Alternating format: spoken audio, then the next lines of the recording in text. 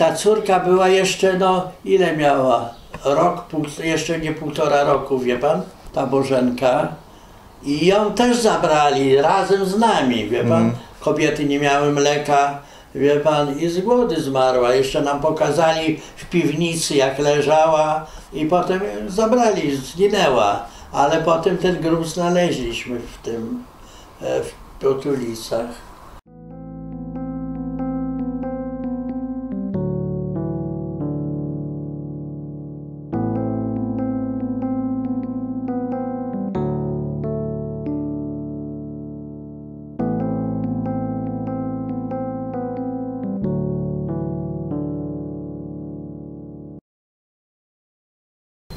Potulice.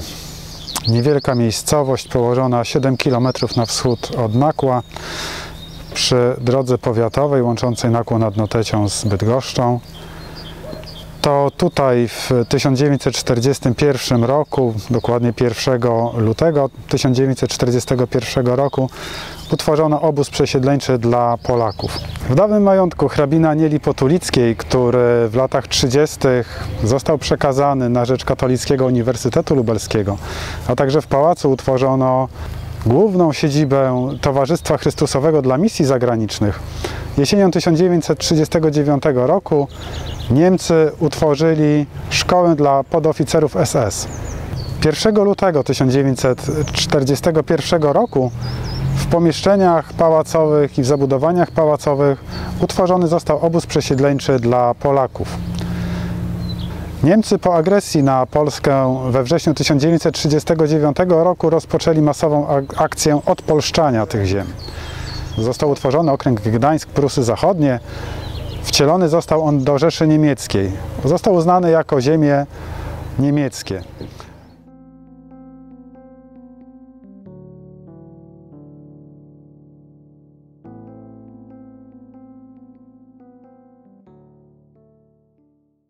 W 1941 roku, 19 sierpnia, kiedy ojciec ostatni wóz zboża przywiózł do stodoły, w nocy o godzinie drugiej w nocy przyszli Niemcy do nas.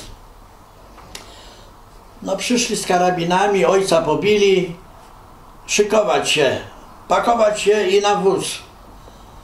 Ojca pobili i myśmy zabrani zostali do Nakła ale letnie mieliśmy stroje, bo to był sierpień, nie? Ale w Nakle zawieźli nas w nocy na e, rynek, jak się nazywał ten nowy rynek, czy i, i proszę pana, tam był płacz, rozpacz w tej Nakle, deszcz zaczął kropić w nocy, to była straszna noc, do dziś ja pamię- pamiętam. I rano, skoro świt, przyjechały samochody wojskowe z tymi budami tak zwanymi i nas załadowali w te budy i zawieźli do Potulic, do obozu.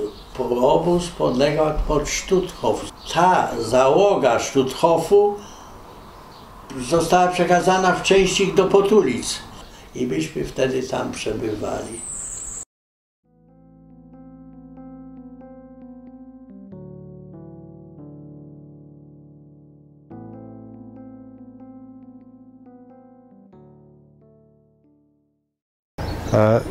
Aby jak najbardziej zniemczyć te ziemię, rozpoczęto akcję odpolszczania, rozpoczęto wysiedlanie Polaków i zapoczątkowano sprowadzanie osadników niemieckich na ich miejsce.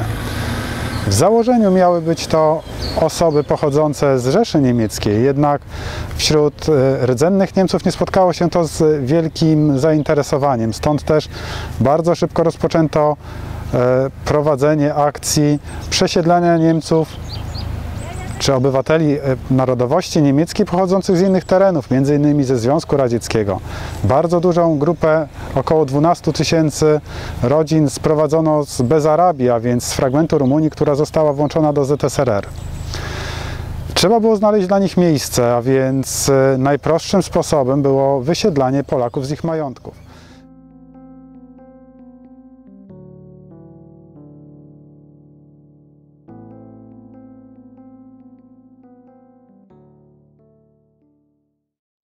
I na, na Pomorze osadzali w polskie gospodarstwa. sobie gospodarstwa wybrali, te lepsze, i tych Niemców tam sadzili. I na naszym domu mieszkał z Besarabii jakiś Niemiec, wie pan?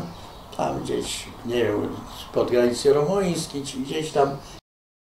A po drugiej stronie ulicy mieszkał znany taki pan, który miał 13 dzieci i oni byli z pochodzenia Niemc, Niemcami. A, ale ponieważ to były wakacje, sierpień, wrzesień, to z Berlina przyjechała do nich rodzina w odwiedziny. I ta rodzina patrzyła, jak nas wysiedlają Niemcy. Oni nie wierzyli, że Niemcy potrafią Polaków wywalać z własnych mieszkań i zabierać.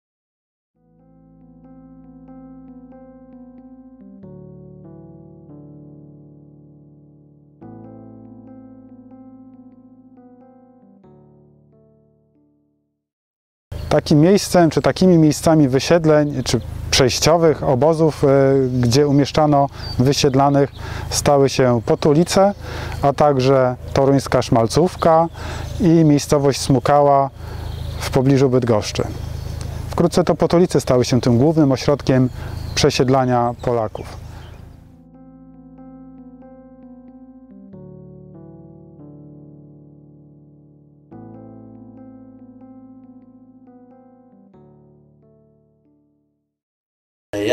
Zachorowałem na chorobę zakaźną. Wy już byliście w barakach, czy były już wtedy baraki? Nie, jeszcze nie było. Były te, pa, pałac był taki do dyspozycji, wie pan? I te wszystkie sale pałacowe. I tam na słomy nawalili na, na, ten, na, na podłogę i tam jeden przy drugim spał. Wie pan?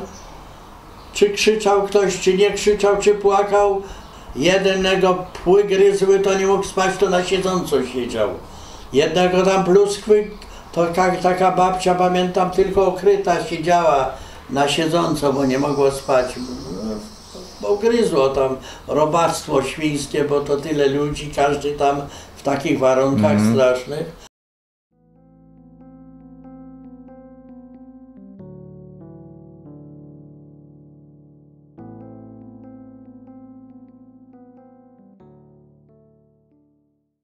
Warunki w obozie były tragiczne.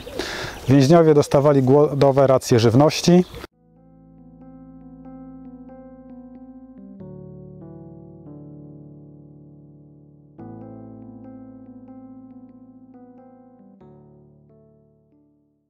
Jak jak ktoś tam coś znalazł, jakiegoś ziemniaka na polu, czy bo tam był obok taki majątek, to tam niektórzy pracowali na tym majątku i przechował, przyniósł do obozu ziemniaka, to dostał lanie publiczne. Zwoływali cały obóz na placu, mieli takie łoże i bili tego człowieka. Przychodził taki skurczybyk, chudy, pamiętam, niewysoki, z taką pałą i publicznie go bił za karę, a wszyscy musieli na to patrzeć, wie pan? Tam nie było wolno się ruszyć. To była tragedia, ten okres był straszny.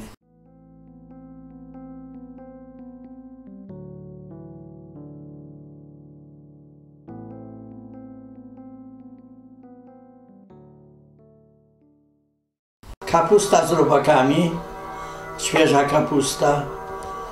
Ziemniaka jak pan znalazł, to się kłócili w kolejce Polacy, ci co stali do tej stołówki. Kawa rano, to tutaj przypominam, gorzka kawa zbożowa i chleb, kawałek chleba, nie wiem, i jakiś twaróg, twarogu jakiegoś tam trochę było i to wszystko, był cały obiad. Na obiad, no wiadomo, że zupa z brukwi albo zupa z kapusty tej świeżej, no bo to akurat był ten okres taki, a ziemniaków to pan nie znalazł tego. To było takie, tak, tyle pamiętam.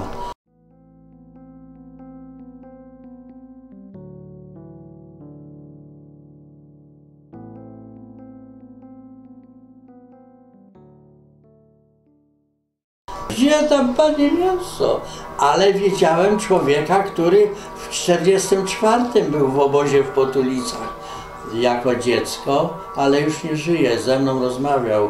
I mówi, ty wiesz co, że w ostatnim roku, jak przegrywali wojnę, to mleko i dzieciakom dawali. Ja mówię, co ty głupie gadasz? Ja mleka w życiu nie widziałem.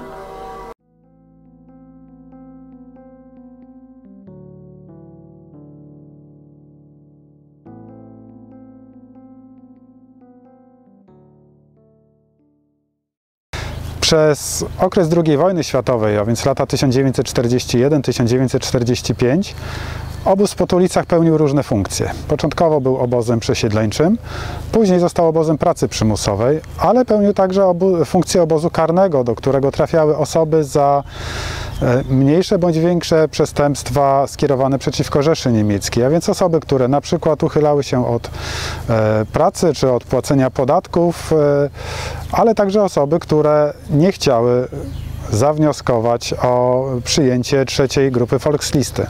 Trafiały także tutaj osoby, których członkowie rodzin zdezerterowali z Wehrmachtu, więc rodziny jako karę za to trafiały do obozów w Potulicach. Historia obozu w Potulicach jest niezwykle tragiczna. Szacuje się, że przeszło przez niego około 25 tysięcy osób. Wyliczenia podają 1297 osób zmarłych. Niemal 800 zmarłych były to dzieci.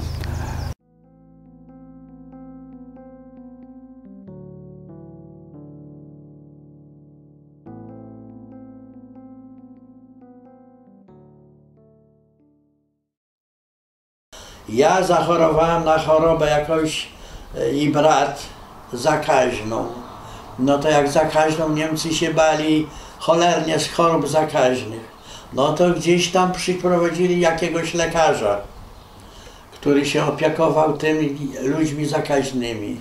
Sześć tygodni tutaj, myślę, nie wiedziałem, że wyjdę z tego, ale brat jeszcze został i potem zachorował na, na zapalenie płuc i ledwo się uratował.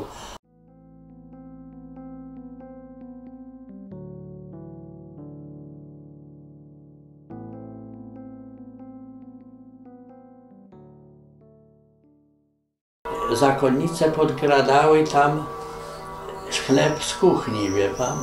I był ten lekarz, jakoś tak kombinowały, że tym chłopakom dwudziestu kilku, dwudziestu nas było chyba tam na tym pokoju, donosili coś, po, tak wie pan, z, z kradzieży jakiejś. I to pamiętam, suchy chleb gdzieś z kuchni przywozili, ale jak wyszedłem, już kazali mi iść do rodziny, wypuścili mnie tam z tej izby chorych.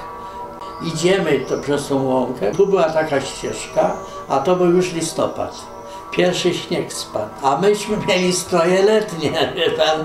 I szedłem do, już tam do tego obozu i taki byłem słaby, że padłem, wie pan. Na tej, poza tą ścieżką i wpadłem w ten śnieg i nie mogłem się podnieść. Taki byłem wycieńczony.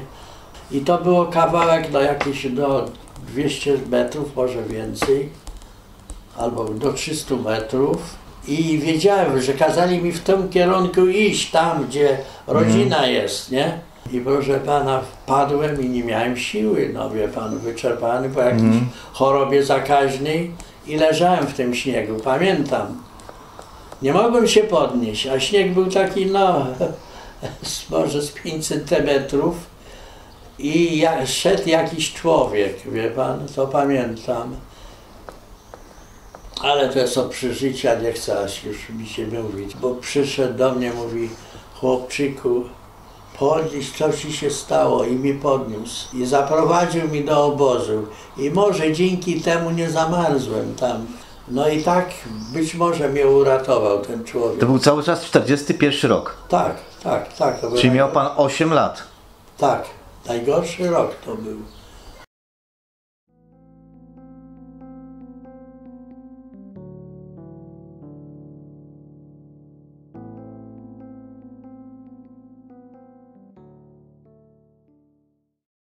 Trafiali tutaj więźniowie z terenu całego Pomorza, ale także i z innych, bardziej odległych części zajętych przez Rzeszę Niemiecką. Przyjeżdżali pociągami do Nakła nad Notecią, a następnie pieszo byli transportowani, czy pieszo musieli przejść do obozów w Potulicach.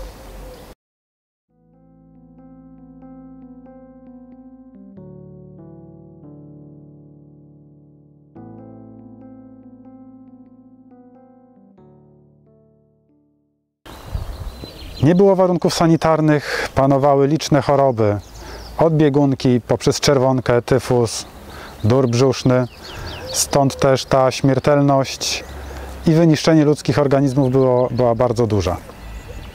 Cmentarz obozu w Potulicach, miejsce, w którym spoczywały przez cały okres istnienia obozu, a więc od 1941 do 1945 roku, szczątki tych, ciała tych, którzy w trakcie ciężkiego pobytu w obozie zmarli. Włodzimierz Jastrzębski podaje liczbę 1297 osób, które zmarły w tym okresie. Niektórzy badacze podają nawet 1800 osób. Jakakolwiek by ona nie była, jest to dowód tragizmu i złych warunków, jakie panowały w obozie. Przechadzając się po alejkach cmentarnych, patrząc na tablice na krzyżach, które się znajdują, dochodzimy do smutnej refleksji, że zarówno dzieci, jak i dorośli cierpieli tutaj wielką gehennę. Niewątpliwie najbardziej tragizm tego miejsca pokazują daty urodzenia i daty śmierci dzieci.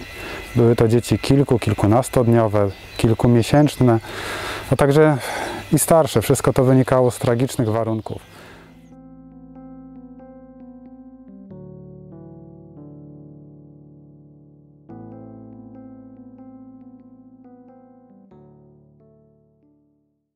Każdego roku w ostatni weekend kwietnia w tym miejscu, a więc na terenie cmentarza ofiar obozu niemieckiego, hitlerowskiego obozu w Potulicach, spotykały się rzesze kombatantów, by celebrować mszę świętą, upamiętnić tych, którzy oddali swoje życie w trakcie wojennej Gehenny.